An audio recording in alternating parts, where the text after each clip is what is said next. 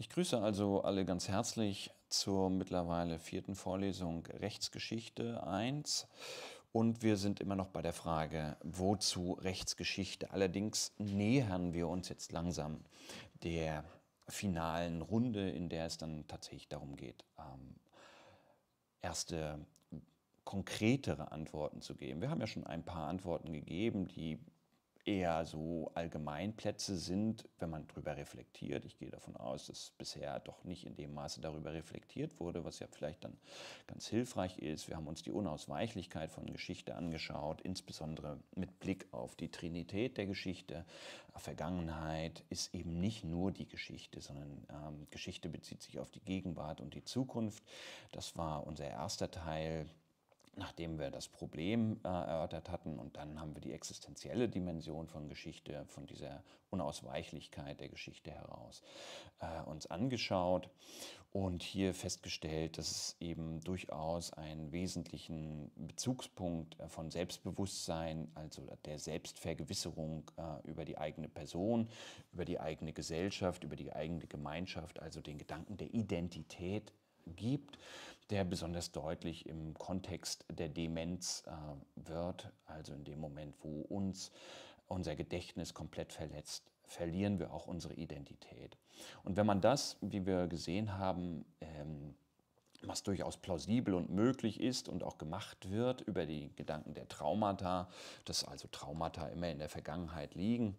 Äh, wenn man das also auf die Gesellschaft überträgt, wie es äh, gesellschaftspolitische und sozialwissenschaftliche Ansätze durchaus tun, die Psychoanalyse äh, mit einer Gesellschaftsanalyse zu verknüpfen, dann ist natürlich äh, die Demenz in einer Gesellschaft geradezu äh, der Verlust ihrer Identität, äh, der Beginn des Untergangs. Also wenn man es jetzt dramatisch formulieren möchte, das will ich ja gar nicht tun, aber ich will auf jeden Fall darauf hinweisen, dass sowohl ein Individuum als auch eine Gesellschaft, die sich nicht über ihre Geschichte im Klaren ist oder aus welchen Gründen auch immer ihre Geschichte verliert, eben auch ihre Identität und ihren äh, tieferen Bedeutungsgehalt des Daseins verliert.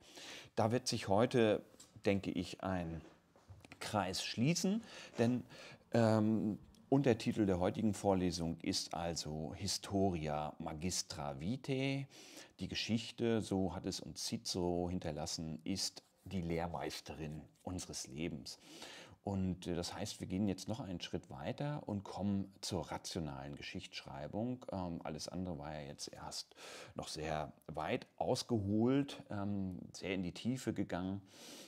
Kommen wir heute zur rationalen Geschichtsschreibung und dem Ursprung dieser rationalen Geschichtsschreibung. Und hier haben wir das letzte Mal schon gesehen, dass äh, die dramatischste Erfahrung ähm, des, äh, eines, eines Traumas die eigene Endlichkeit, den Ursprung einer bewussten Reflexion über das Vergangene beinhaltet.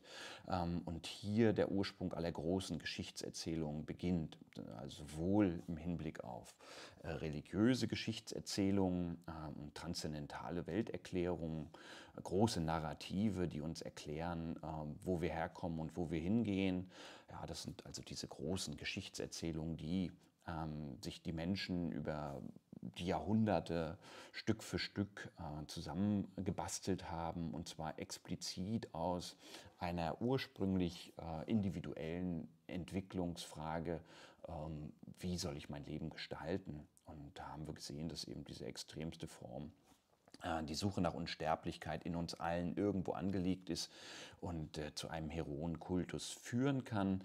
Ähm, wir haben das äh, uns angeschaut bei der Geschichte ähm, ähm, von Gilgamesh und Enkidu und äh, dann eben auch äh, Achilles und alle anderen Heldengeschichten und äh, hatten dann ganz kurz nur den Ausblick gewagt, wie sieht es denn eigentlich mit den Helden in der Gegenwart aus. Das werden wir heute noch einmal abschließend vertiefen. Also Historia Magistra Vitae. Und wir beginnen mit einer Geschichte, die uns von Herodot berichtet wird. Herodot, der ja als Vater der Geschichtsschreibung gilt, teilt uns in seinen Historien eine Geschichte mit, relativ am Anfang, gleich im ersten Buch. Es geht um die Vorgeschichte zu den Perserkriegen ähm, und es geht hier um den König Krösos, der in Lydien regiert. Das ist direkt an der Grenze zu ähm, Persien in der damaligen Zeit.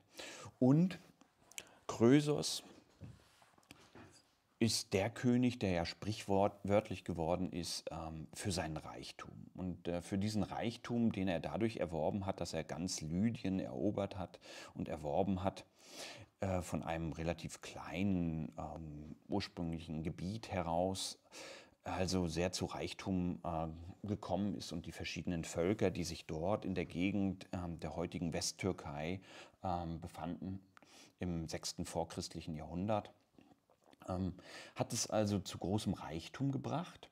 Und nachdem er also sein Reich in dieser Weise konsolidiert hat, und hier beginnt die Geschichtserzählung ähm, bei Herodot, beschreibt er, dass nun alle Gelehrten aus aller Welt und auch aus Griechenland, die, die damals lebten, also ich zitiere und lese jetzt äh, Herodot im ersten Buch, ähm, lebten aus den verschiedensten Gründen nach dem reichen und mächtigen Sardes, also der Hauptstadt Lydiens, und bald dieser, bald jener diese Stadt besuchte. Und so kam nun auch Solon aus Athen, der den Athenern auf ihren Wunsch Gesetze gegeben hatte und nun auf zehn Jahre außer Landes ging. Um die Welt zu sehen, hatte er sich angeblich auf eine Forschungsreise begeben, also Solon. In Wirklichkeit sollte man ihn aber nicht zwingen können, auch nur eines von den Gesetzen zu ändern, die er erlassen hatte. Die Athener selbst durften keine Gesetzesänderung vornehmen. Durch schwere Eide waren sie gebunden, zehn Jahre lang die Gesetze zu beachten, die Solon ihnen gegeben hatte. Also hier geht es um die Grundmotivation, warum nun auch Solon äh, nach Sardis kommt, nach Lydien und den König Krösos besucht. Ähm, nicht aus Neugierde, sondern eben, weil er ohnehin nicht mehr in Athen bleiben wollte sondern eben Athen verlassen hat, weil er nicht wollte, dass die Athener ihn ständig bedrängen, die Gesetze wieder zu ändern. In gewisser Weise gab es also offenbar schon sehr früh hier im, im 6. vorchristlichen Jahrhundert so etwas, was wir heute Lobbyismus nennen, dass also diejenigen, die ein Interesse daran haben, denjenigen, der für die Gesetzgebung zuständig ist, bedrängen, die Gesetze in die eine oder eben in die andere Richtung zu gestalten. Ja. Und äh, also gerade dieser Gesetze wegen, ich zitiere weiter jetzt aus äh, den Historien von Herodot, gerade der Gesetze wegen und um die Welt zu sehen, war nun Solon außer Landes gegangen und zu Amasis nach Ägypten gekommen und er gelangte auch nach Sardes zu Kreusos. Nach seiner Ankunft ließ ihn Krösos im Palast gastlich aufnehmen. Am dritten oder vierten Tag mussten ihn Diener auf Krösos Geheiß in die Schatzkammer führen und alle die großen und reichen Schätze des Krösos äh, zeigen. Als er alles gesehen und nach Wunsch betrachtet hatte, fragte ihn nun Krösos, Gastfreund aus Athen, verschiedene Kunde über dich ist zu uns gedrungen, über deine Weisheit und deine Reisen. Man hat uns erzählt, du habest als Freund der Weisheit, ich habe ja gestern schon in der Einführung in die Rechtswissenschaft deutlich gemacht, dass der erste Begriff des Philosophen hier bei Herodot kommt. Also hier ist es die, genau diese Stelle, Solon, der in ähm, Sardis zu König Krösus kommt und von diesem als Freund der Weisheit, also als Philosoph, ähm, bezeichnet wird. Du bist also, um die Welt äh, kennenzulernen, hast du viele Länder der Erde besucht. Und nun möchte ich dich doch auch gerne fragen, ob du schon einen Menschen gefunden hast, der am glücklichsten auf Erden ist. Das ist die große Frage, die Krösos aufstellt, natürlich mit dem Hintergedanken, äh, dass er, nachdem er ihnen alle seine Schätze gezeigt hat, wohl davon ausgehen würde, dass er der Glücklichste ist. Und umso erschrockener war er nun, jetzt zitiere ich wieder weiter, ähm, dass Solon ihm nicht schmeicheln wollte, sondern eine ganz andere Wahrheit ihm verkündete. Er sprach nämlich, O ja, König, ich kenne den glücklichsten Menschen auf der Erde. Es ist Telos aus Athen. Krösus staunte über das Wort und fragte gespannt, in welcher Hinsicht meinst du denn, sei Telos der Glücklichste? Und Solon antwortete, Telos lebte in einer blühenden Stadt, hatte treffliche, wackere Söhne und sah, wie ihnen allen Kinder geboren wurden und wie diese alle am Leben blieben. Er war nach unseren heimischen Begriffen glücklich und ein herrlicher Tod krönte sein Leben. In einer Schlacht zwischen Athenern und ihren Nachbarn in Eleusis brachte er durch sein Eingreifen die Feinde zum Weichen und starb einen Heldentod. Die Athener begruben ihn auf Staatskosten an der Stelle, wo er gefallen war, und ehrten ihn sehr. Hier also eine Geschichtserzählung von einem Individuum, von dem Krösos nie gehört hat. Und ich vermute, alle, äh, denen ich die Geschichte gerade vorgelesen habe, ähm, haben auch noch nie von Telos von Athen gehört, den nun Solon, der als der Weiseste seiner Zeit galt, beziehungsweise eben einer der sieben Weisen von Griechenland, ähm, als den glücklichsten Menschen ähm, pries, den er kannte. Es ist klar, dass Solon hier nun nachfragt und ähm, sich damit nicht zufrieden gibt. Als Solon, ich zitiere weiter, als Solon den Kreusus durch die Geschichte von Telos, indem er so viel Gutes über ihn sagte, nun noch wissbegieriger gemacht hatte, fragte der König weiter, wen er denn für den zweitglücklichsten halte. Er hoffe doch, äh, wenigstens die zweite Stelle in der Glückseligkeit zu erhalten. Aber Solon sagte, hm, Kleobis und Biton.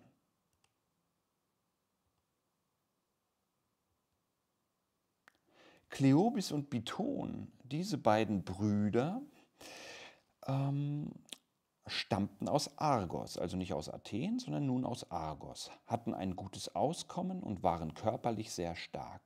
Beide wurden gleichzeitig Sieger in vielen Wettkämpfen. Man erzählt folgende Geschichte von ihnen. Auf einem Hera-Fest in Argos musste ihre Mutter auf jeden Fall in einem Fahrzeug in den Tempel gefahren werden. Die Stiere aber waren nicht rechtzeitig vom Felde zur Stelle. Die Zeit drängte, und da traten die jungen Männer selbst unter das Joch und zogen den Wagen, in dem ihre Mutter saß. Sie liefen 45 Stadien weit und kamen zum Tempel. 45 Stadien, das sind etwa neun Kilometer. Ja, das, ein Stadion hatte ungefähr 160 bis 200 Meter und deswegen ist das eine ganze Strecke, wenn man auf nicht so befestigten Wegen, äh, wie wir sie heute haben, mit so einer Karre ähm, wo sonst Stiere den Wagen ziehen, nun sich selbst unter das Joch spannen und den Wagen ziehen und das auch noch unter Leistungs-, also Zeitdruck, ähm, weil ein festgesetzter Termin angesetzt war für die Mutter, die zu diesem Zeitpunkt pünktlich im Hera-Tempel sein musste. Nach dieser Tat, wie der Herodot, nach dieser Tat, die das ganze versammelte Volk gesehen hatte, wurde ihnen der schönste Tod zuteil. An ihnen offenbarte Gott, dass der Tod für den Menschen besser sei als das Leben. Die umstehende Menge der Argeier lobte die Kraft der jungen Männer. Die Frauen aus Argos aber priesen ihre Mutter, dass sie solche Kinder geboren habe.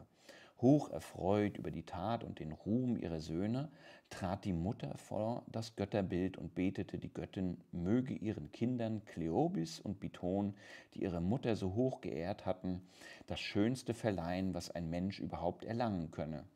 Und als sie nach diesem Gebet geopfert und am, Teil, am Mahl teilgenommen hatten, schliefen die Jünglinge unmittelbar im Tempelbezirk ein und wachten nicht mehr auf. Sie fanden dieses Ende. Die Argeier ließen Standbilder von ihnen machen und stellten sie in Delphi auf als Bilder edler und wackerer Männer. Das ist also die zweite Geschichte, die nun Solon auf die Frage und äh, das Nachhaken von Krösos äh, zum Besten gibt und äh, eben deutlich macht, dass nicht der Reichtum als solcher entscheidend ist, sondern die Taten, die man zu Lebzeiten vollbracht hat.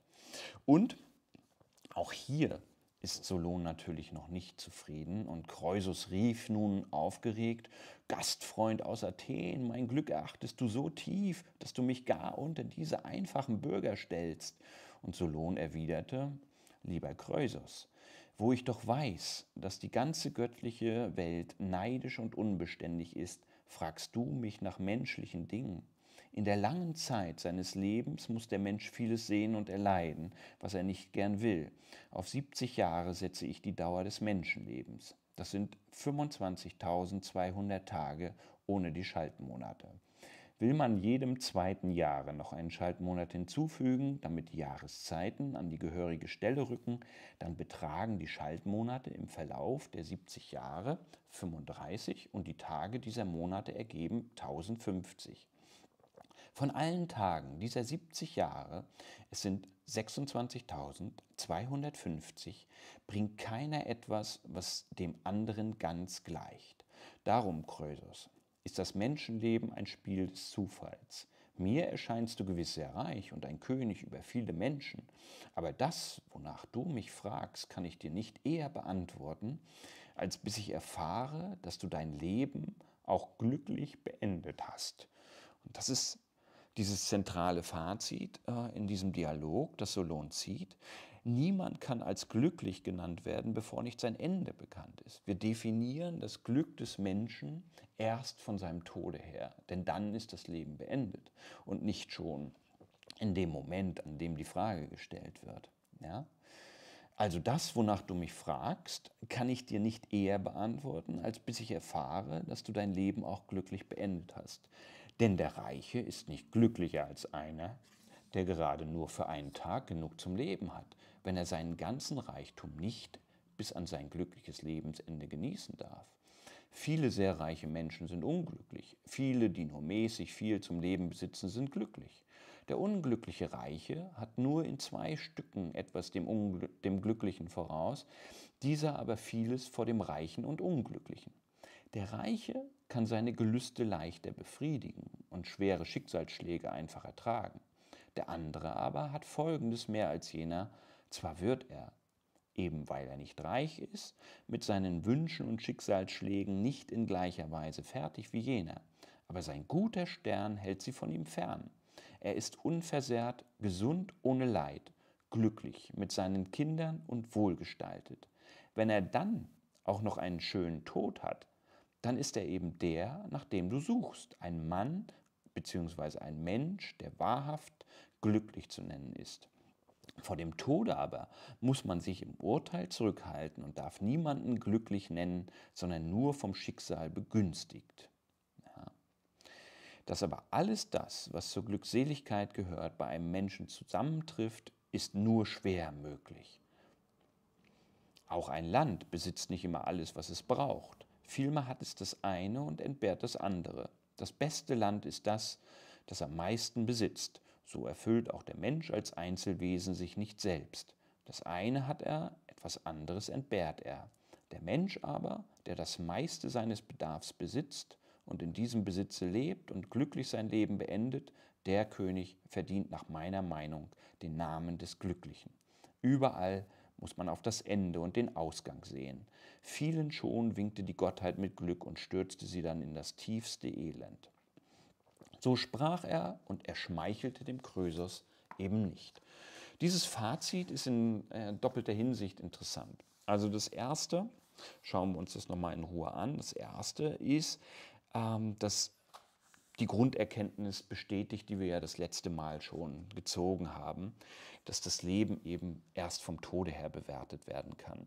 Ja, die extremste Form, die sich darin findet, ist ähm, die Suche nach Unsterblichkeit und dieser Heroenkultus. Ja die Klage des Enkidu über seinen jämmerlichen Tod, ähm, wo er dann sagt, mein Freund, wer im Kampfe fällt, ist glücklich, ich aber muss auf diesem Lager dahin siechen. Ähm, oder eben die Wahl des Achill, lieber vor Troja zu sterben und ein kurzes Leben zu haben, ähm, als ein langes, ruhmloses Leben. Die Vorstellung also der Unsterblichkeit ist das, was äh, viele Handlungen eher antreibt als die Suche nach einer Glückseligkeit im Reichtum, die einem das Leben zwar verlängert, aber sonst nichts weiter. Ein Leben in Wohlstand mag anstrebenswert sein für die, die dieses Leben im Wohlstand, dieses Leben im Wohlstand, einem Leben ähm, in Elend vorzuziehen. Das ist wohl wahr. Doch die Frage, ob nun dann eben dieses Leben im Wohlstand alles ist, was man erreichen kann, ähm, wird hier von Solon abschlägig beschieden. Und insbesondere kann man eben das äh, Leben erst vom Tode her ähm, beurteilen. Da findet sich übrigens auch etwas, was ähm, zuweilen im eigenen Leben als Konzeptionsbeispiel ähm, betrieben werden kann. Es gibt ja regelmäßig so Runden, äh, wenn man bei einem Coach ist oder wenn man äh, in einer Gruppe von Leuten ist und äh, sich unterhält, äh, dann kann man durchaus die Frage sich stellen, wo siehst du dich in fünf Jahren, wo siehst du dich in zehn Jahren, wo siehst du dich in 30 Jahren? Und spinnt man diesen Punkt weiter zu Ende. Das heißt, man schaut von der Gegenwart eigentlich auf die eigene Zukunft, auf das eigene Leben.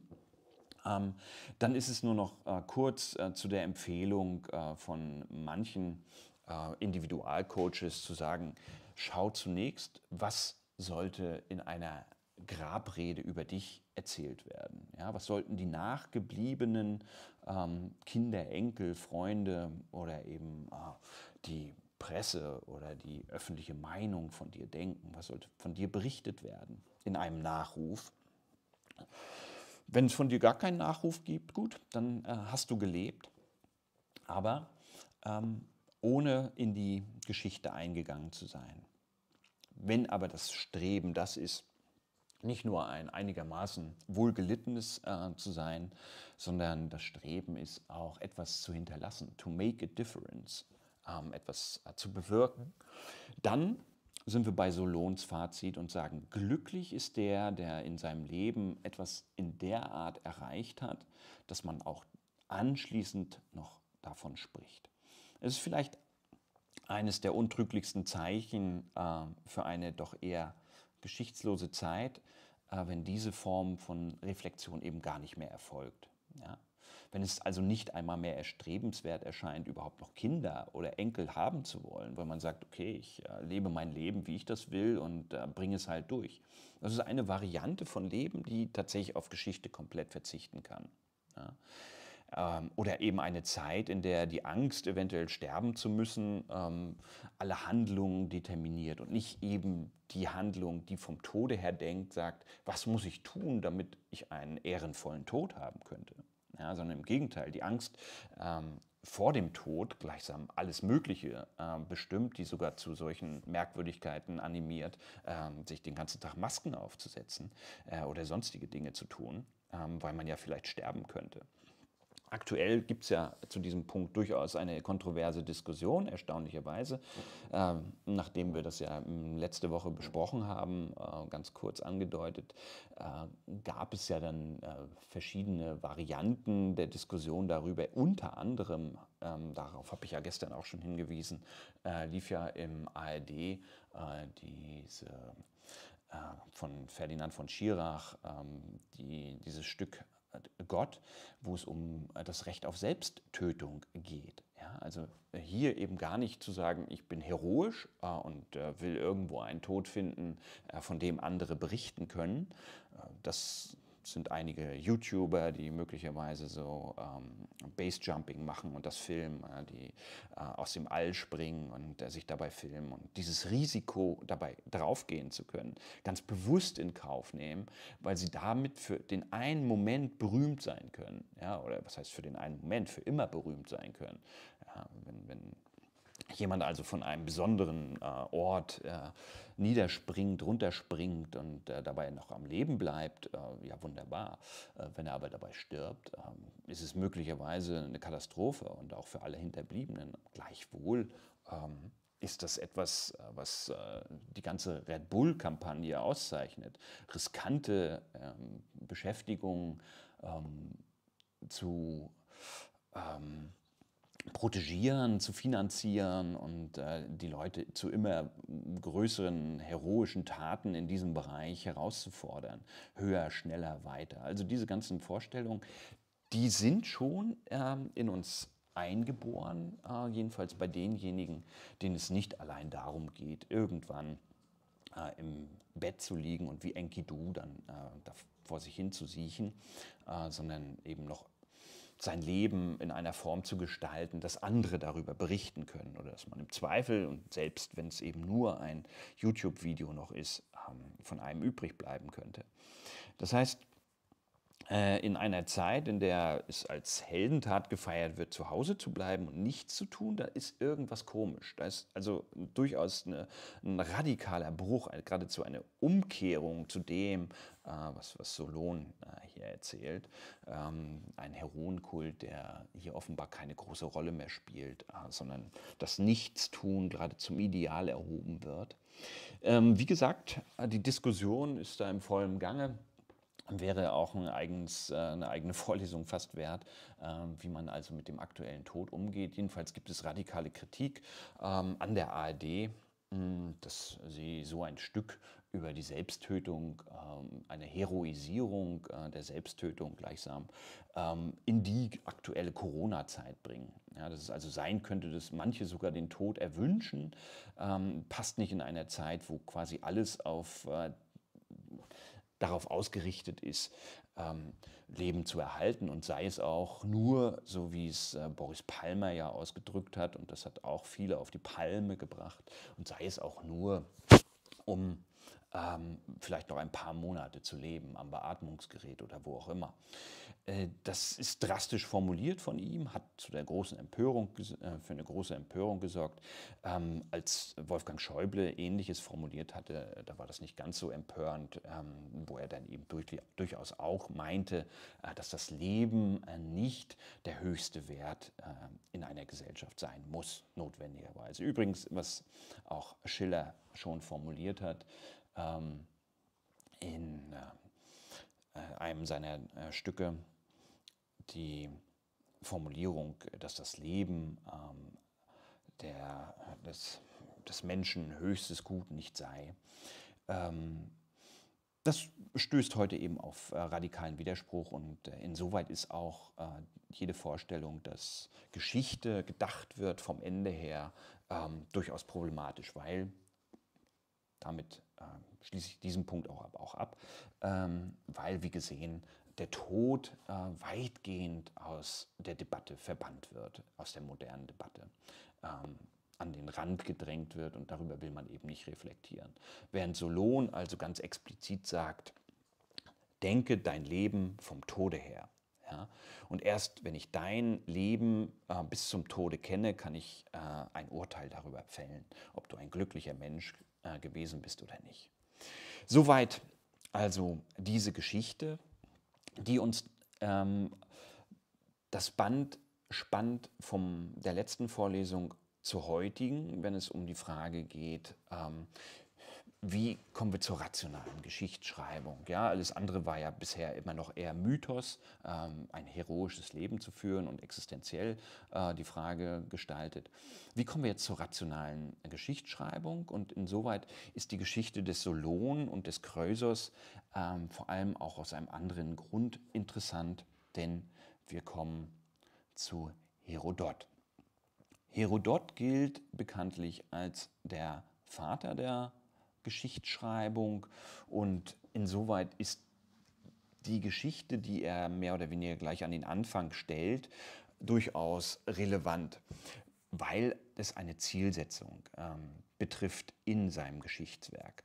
Zunächst, und das ist die allgemeine Auffassung, äh, beschreibt Herodot äh, eigentlich nichts anderes als die Geschichte Griechenlands. Äh, man kann noch ein Stück weiter gehen. Im Grunde ein der zentrale Gegenstand sind die Perserkriege, also ein Zeitraum von, ja, nicht mal 15 Jahren.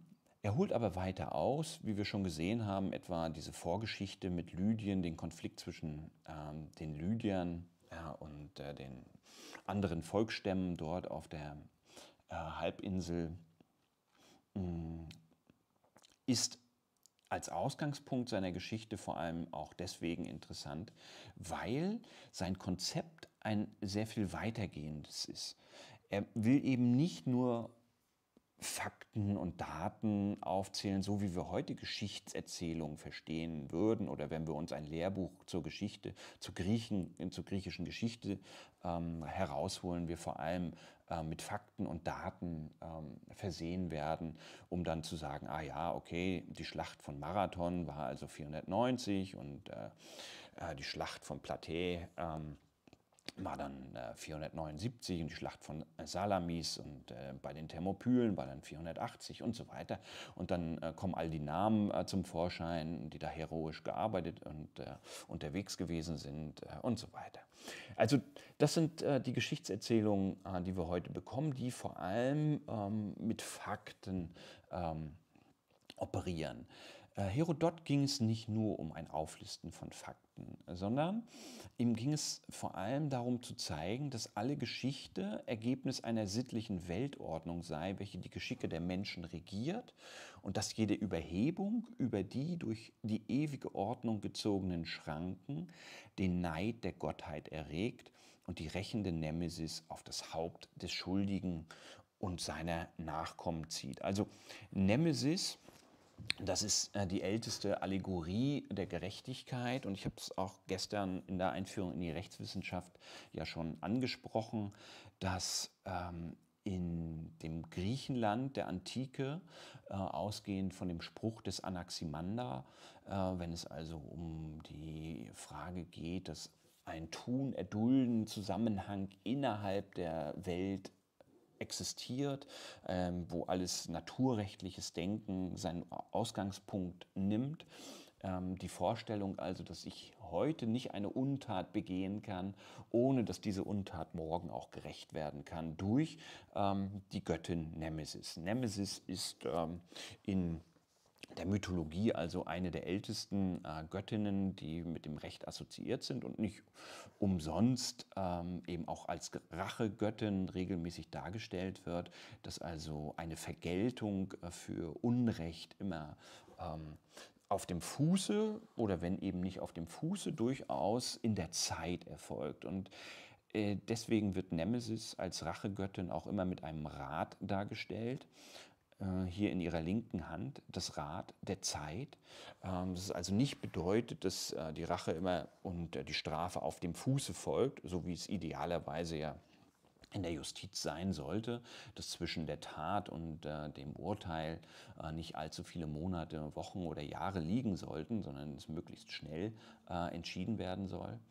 Ähm, ist die Vorstellung und die Urerfahrung äh, der Griechen in diesem Kontext äh, durchaus gewesen, äh, dass jeder sein gerechtes Urteil erhält, auch wenn es nicht auf dem Fuße folgt, aber eben später. Und das ist ein wesentlicher Aspekt, der die Geschichtsschreibung des Herodot eben antreibt. Denn unter diesem Gesichtspunkt zu beschreiben, dass Verfehlungen des einen sich dann im späteren und durchaus eben auch in der späteren Generation rächen können, ist geradezu eine Urangelegenheit ähm, geschichtlicher Betrachtung. Zu fragen, wo liegen eigentlich die Ursachen für die Übel, von denen wir heute geplagt werden. Ja, das ist ein as wesentlicher Aspekt von, Historia, von historischer Betrachtung. Wenn ich also wissen will, warum wir in der größten Kalamität in der Gegenwart sind, muss ich schauen, alles hat seinen Ursprung in der Vergangenheit. Und wenn ich dann dem Ganzen noch einen metaphysischen äh, Grundgedanken ähm, beifüge, dass also tatsächlich ähm, göttliche oder schicksalhafte Gesetzmäßigkeiten in der Welt regieren, äh, dann wird deutlich, dass also die Übel, die wir heute erleiden, offenbar mit Untaten in der Vergangenheit verknüpft sind. Wir werden uns das gleich noch anschauen, deswegen ist äh, diese Geschichte von Kreusus eben auch äh, relevant. Wir werden die gleich noch äh, zu Ende denken. Nur hier noch ein kleiner Ausblick. Wir werden uns das nächstes Mal auch noch intensiver anschauen, ähm, wenn es um den Ursprung ähm, der Geschichtsschreibung generell geht und hier den Zusammenhang äh, zum Recht deutlich machen wollen. Äh, wenn wir also die allgemeine Geschichtsbetrachtung wieder mal verlassen und äh, wieder stärker auf das Recht fokussieren, dann wird deutlich, dass bei Herodot, so könnte man es äh, kurz zusammenfassen, im Grunde nichts anderes versucht wird, als eine Universalgeschichte, die zugleich eine Völkerrechtsgeschichte ist. Denn das, was wir jetzt gleich äh, zur Verdeutlichung nochmal bei Krösos uns genauer anschauen, ist eben für die Betrachtung der Perserkriege für Herodot ganz selbstverständlich. In dem Moment, wo also die Perser über das ursprüngliche Begehren hinaus äh, nach Griechenland ausgreifen und damit etwas Unrechtes tun, ähm, folgt die Strafe auf dem Fuße. Ja, es kann nicht glücken. Es darf nicht glücken, äh, weil es eben mit Unrecht und Untaten ähm, verknüpft gewesen ist. Äh, und äh, eine solche Entwicklung bezeugt eben dieses höhere Walten äh, der sittlichen Weltordnung in der Geschichte. Das ist übrigens ein Gedanke, auf den wir noch ausführlicher dann auch zu sprechen kommen müssen, ähm, wenn wir uns noch kurz über geschichtsphilosophische Zusammenhänge ähm, verständigen wollen, die bis in die Gegenwart oder bis zuletzt jedenfalls Anfang des 20. Jahrhunderts ganz präsent gewesen ist, nämlich vor allem über Hegels Geschichtsphilosophie, dass also alle geschichtlichen Entwicklung eine Vernunft innewohnt, ja, dass also etwas Vernünftiges in der Geschichte obwaltet. Und äh, kein anderer als Karl Marx ist es ja dann gewesen, der daraus äh, gleichsam eine äh, materialistische Geschichtsauffassung entwickelt hat, bei der er als, als selbstverständlich angesehen hat, äh, dass schließlich der Sozialismus bzw. der Kommunismus äh, am Ende aller Geschichte stehen wird.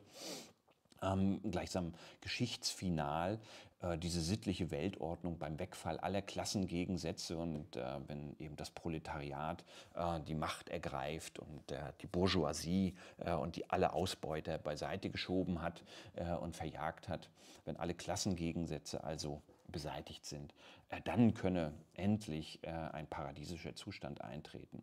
Und äh, diese Gesetzmäßigkeit führte durchaus im 19. und Anfang des 20. Jahrhunderts dann immer zu der Frage der Revolutionäre, ähm, müssen wir denn jetzt nur sitzen, so wie das heute die Bundesregierung verkündet und ähm, nichts tun und darauf warten, dass die Weltrevolution stattfindet? Oder woran erkennen wir, dass wir tätig werden müssen? sozusagen der äh, dem, dem Umsturz der alten Ordnung ähm, äh, entsprechend nur noch einen kleinen Tritt zu geben, äh, etwas beschleunigen. Äh, sind wir schon so weit oder sind wir noch nicht so weit? Das heißt, eine der großen Herausforderungen ähm, war durchaus eine Deutung äh, der Zeitgeschehnisse, ob es nun Zeit ist für die große Revolution und äh, sehr zum, ähm, zur Merkwürdigkeit äh, der damaligen Theoretiker. Ähm, Marx und Engels sind eben immer davon ausgegangen, dass äh, die Revolution nur in den entwickelsten kapitalistischen Gesellschaften passieren kann. Ähm, fand nun die Revolution ausgerechnet im Russland 1917 statt, ähm, also dem Land, das aus europäischer Perspektive das rückständigste Land überhaupt gewesen ist, also im Grunde noch feudalisch, feudalistische Grundstrukturen hatte. Aber das ist Geschichte des 19. und 20. Jahrhunderts, äh, dieser Ausblick. Ich wollte darauf nur hindeuten, dass also diese Vorstellung, dass in der Geschichte ähm, ein Geist waltet oder eine, eine höhere Ordnung existiert, ähm, hier im Kontext des Ursprungs der Geschichtsschreibung bereits bei Herodot deutlich aus- und angesprochen ist. Doch zurück, um das zu verdeutlichen, noch einmal zu unserer Geschichte mit Solon und Kreusos. Nachdem also Solon diese Geschichte vom glücklichsten Menschen und seine Antworten gegeben hat äh, und damit Krösus nicht schmeichelte, ließ dieser ihn, ich zitiere jetzt wieder Herodot, äh, ließ dieser ihn, Krösus also den Solon, ohne ihn eines weiteren Wortes zu würdigen, von sich gehen. Krösus hielt Solon sogar für einen großen Toren, weil er das Glück der Gegenwart eben nicht gelten ließ und immer nur auf das Ende hinwies. Ohne zu belehren, ähm, erzählt nun allerdings ähm, Herodot die Geschichte des Krösus weiter. Ja, und zwar zunächst ähm, mit einem Schicksalsschlag, der vielleicht der schlimmste überhaupt äh, für die Antike immer gewesen ist, wenn man ein eigenes Kind verliert. Bis heute ist das ein großes Schicksal, ein, ein wesentlicher Schicksalsschlag ähm, für Eltern, wenn sie ihre Kinder verlieren. Also auch ein, ein dramatischer Zustand. Ähm, aber für die Antike war es vor allem deswegen auch so katastrophal, weil es vor allem darum ging, die Familie zu erhalten, die Familie, das Haus zu erhalten. Der Name sollte weiterleben und diese, äh, dieses, diese Unsterblichkeit über die Familie und das Haus und den Namen in der Zukunft war natürlich auf eine Weise immer dadurch garantiert, dass man entsprechende Erben hatte. Und wenn nun also die Erben sterben ähm, und der Erblasser sozusagen keine eigenen äh, Kinder hat, äh, dann ist das eine der äh, dramatischsten äh, Strafen, die man äh, sich vorstellen konnte als individuelles Schicksal, also als Unglück schlechthin. Ja, und das ist nun das, was äh, dem Solon tatsächlich als nächstes passiert. Ja? Nach Solons, Entschuldigung, nicht Solon, sondern dem Krösos passiert. Nach Solons Abreise traf nämlich den Krösus Gottes furchtbare Vergeltung, vermutlich weil er geglaubt hatte, er sei der glücklichste aller Menschen. Gleich nach dem Einschlafen überfiel ihn nämlich ein Traum, der ihm die Wahrheit über das künftige Unglück seines Sohnes offenbarte. Krösus hatte zwei Söhne. Einer war versehrt, denn er war taubstumm. Der andere aber übertraf alle seine Altersgenossen in allem, und der hieß Athys. Diesen Athys, so prophezeite ihm der Traum, werde er verlieren, getroffen von einer eisernen Lanzenspitze. Und sobald Krösus nun aufgewacht war und den Traum durchdachte, befiel ihn große Angst. Ja. Das ist also äh, die Eingangsgeschichte, äh, auch hier äh, wieder der Gedanke der Angst. Und nun passiert das, was äh, für die Antike eben auch kennzeichnend ist. Wir haben das, äh, als wir uns äh, den Zusammenhang von Freiheit und Determiniertheit angeschaut haben, als erste Urerfahrung, ähm, und das haben wir verdeutlicht an, an der Geschichte des Ödipus, äh, in gewisser Weise wiederholt sich dasselbe Phänomen hier. Nun war es natürlich ähm, nicht besonders überraschend. Also die Wahrscheinlichkeit in der Antike ähm, für einen jungen Mann von einem Speer getötet zu werden, war wohl bei 90 Prozent. Ja, also die Wahrscheinlichkeit, äh, dass äh, Söhne sterben äh, im Kampfgetümmel durch eine Speerlanze, durch eine Lanze bzw. ein Speer, war kein, keine so große Sache. Deswegen ist es nicht ungewöhnlich, dass so ein Traum nun den Vater befällt, der Angst um seinen Sohn hat, der als einziger Erbe in Betracht kommt, weil ja der andere eben behindert gewesen ist. Und insoweit versucht nun also Krösos alles Mögliche, um zu verhindern, äh, dass ähm, sein Sohn Athys auch nur in die Nähe einer Lanze gerät. Er schickt ihn nicht mehr an die Spitze seines Heeres äh, in den Krieg, was er vorher als Kriegsaufgabe wahrgenommen hat, sondern ähm, um ihn davon abzulenken, verheiratet er ihn und äh, versucht ihn eben abzulenken und so weiter. Und Athys kommt also mit Waffen gar nicht mehr in Berührung, auch lässt äh, Krösos alle Waffen aus äh, dem Palast entfernen und so dass also Artus auch gar nicht mehr überhaupt in die Nähe von einem Speer kommen kann. Und wie wir ja aus der Geschichte des Ödipus äh, kennen, ist äh, alles Handeln, was hier nun plötzlich darauf gerichtet ist, ähm, ein unvermeidliches Schicksal offenbar ähm, zu verhindern, äh, das, was nun letztlich gleichsam unnütz ist und doch darauf hinausläuft, dass das Geträumte auch eintritt. Ähm, ich will das hier gar nicht ausführen. Wer das möchte, kann das ja ähm, nachlesen. Es ist äh, insoweit dann die Geschichte so, dass es darum geht, dass ein großer Eber in einem Gebiet äh, des äh, lydischen Territoriums äh, Verheerungen äh, verursacht, also wir würden heute von Wildschaden sprechen. Ähm, und äh, die Bauern und äh, Leute, die dort wohnen, bitten um Hilfe des Königs, also um Truppen, äh, also um ein Jagdgefolge. Und ursprünglich war das natürlich selbstverständlich, dass das eine königliche Aufgabe ist und gerade für junge ähm, Leute, die äh, sich bewähren und beweisen wollten. Äh, war halt jemand, äh, den man nicht einfach einsperren konnte und mit einer Hochzeit abspeisen konnte. Ähm, war es natürlich selbstverständlich, äh, sich solche Aufgaben zu stellen. Und langer Rede, kurzer Sinn, ähm, ähnlich äh, wie in der Geschichte Game of Thrones, wo ja der König Robert Baratheon war es, glaube ich, auch von einem Keiler angefallen wird und dann stirbt. Ähm, bestand hier die Angst und äh, Krösus wollte ihn erst nicht äh, mitgehen lassen. Es kommt also zu einem Streit, einem freundlichen Gespräch und äh, äh, sagt aber, er möchte unbedingt und äh, er deutet dann den Traum eben auch so, dass ähm, er ja durch eine Speerspitze getötet werden soll und nicht durch den Hauer eines Keilers. Ähm, insoweit überzeugt er damit also seinen Vater Krösus und er schließt sich also dieser Jagdgesellschaft an. Ähm, und es kommt, wie es kommen musste. Er wird dann doch getötet durch einen Speerwurf, ähm, ausgerechnet dessen, den Krösos ähm, dem Artus mitschickt, damit er auf sein Leben achten soll, ihn beschützen soll. Ja, der wirft also ähm, auf den Eber und trifft versehentlich den Artus, den Sohn des Krösers. Und damit bewahrheitet sich der Traum äh, und äh, Artus stirbt. Also das ähm, Schicksal schlägt hart zu an dieser Stelle. Ähm, und man kann schon merken, dass äh, Krösers kaum noch als glücklich zu schätzen ist, ähm, wenn er den Erbfolger ähm, verliert. Mhm. Doch damit ist noch nicht Schluss, denn Krösos verliert auch sein Reich. Nachdem er sich äh, einigermaßen von diesem Schicksalsschlag des Verlustes seines Sohnes ähm, erholt hat, wollte er nun seine Expansionspolitik fortsetzen und er fragte das Orakel von Delphi. Also er war schon durchaus ein vorsichtiger äh, Herrscher.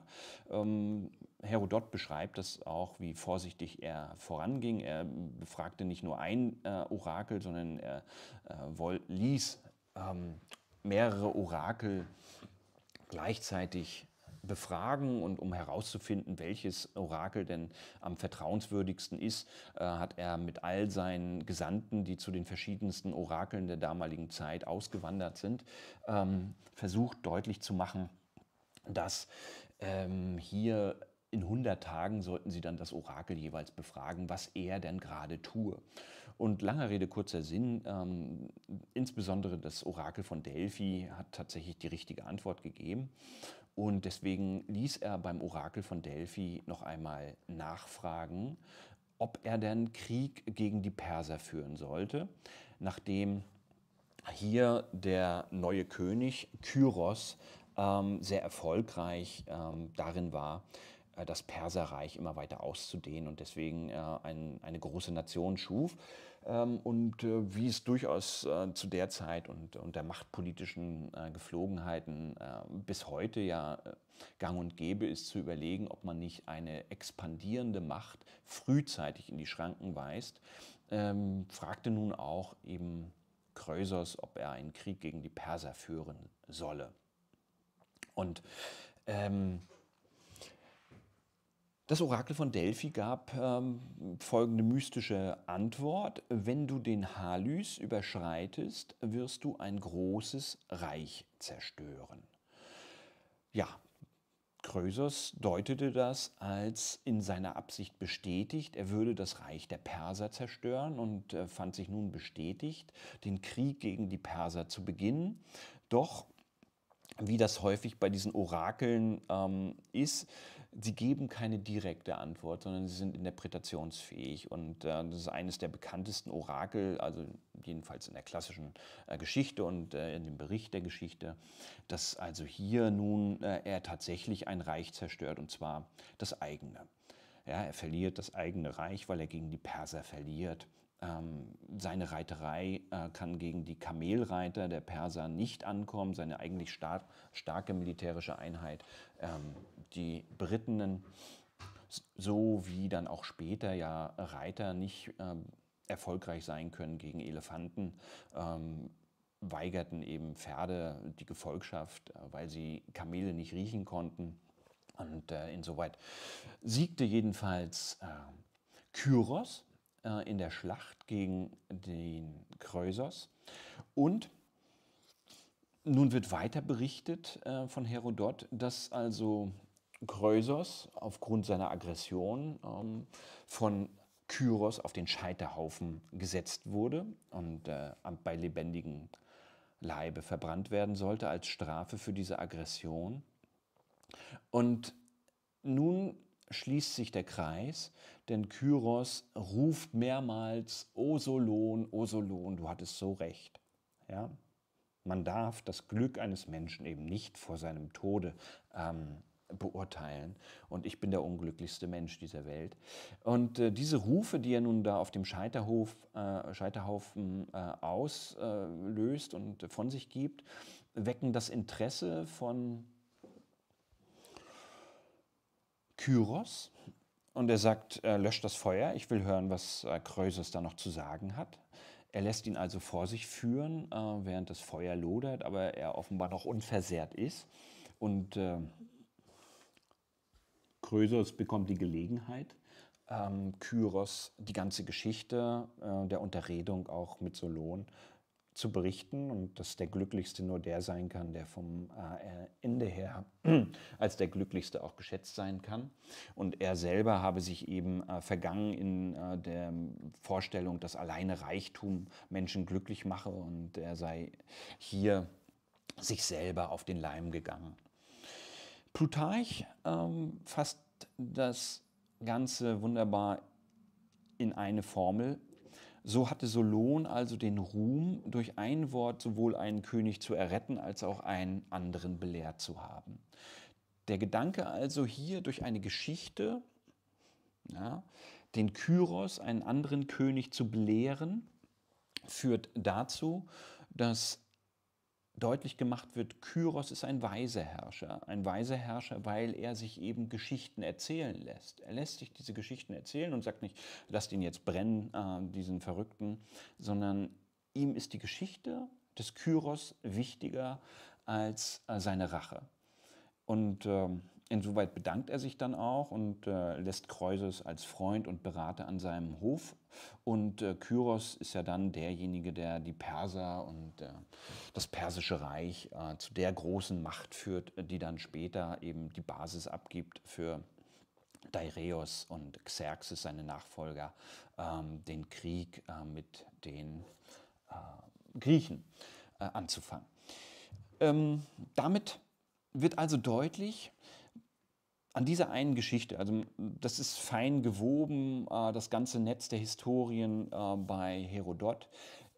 Deutlich wird hier eben dieser Zusammenhang von Aktio und Reaktio, von äh, Ursache und Wirkung, äh, von Schicksalsmächtigkeit, aber eben auch eigenem Zutun. Ja? Eigener Unreife in der Entscheidung, die man trifft, und dann den Konsequenzen, die daraus folgen in dem eigenen Leben und hier eben insbesondere, wenn es nicht nur um das eigene Leben geht, viel deutlicher und das ist natürlich ein ganz wesentlicher Aspekt aller weiteren Geschichtsschreibung dann. Für wen ist Geschichtsschreibung vor allem von Interesse? Natürlich für Regierende. Ja, für die Regierenden ist Geschichtsschreibung deswegen von Interesse, weil man sich so aus der Geschichte äh, eben belehren lässt. Historia magistra vitae. Und kein anderer als äh, der Reichskanzler Bismarck hat das Ganze noch auf einen, auf einen ähm, Punkt zugespitzt, der hier besonders deutlich wird. Ähm, Bismarck sagte, nur ein Narr äh, lässt sich ähm, von seinem Leben belehren. Ich lasse mich lieber durch das Leben anderer belehren. Ja, und wenn ich mich eben durch das Leben anderer belehren lassen will, ähm, dann muss ich eben zuhören, weil ansonsten komme ich eben über meine eigene Erfahrung nicht hinaus.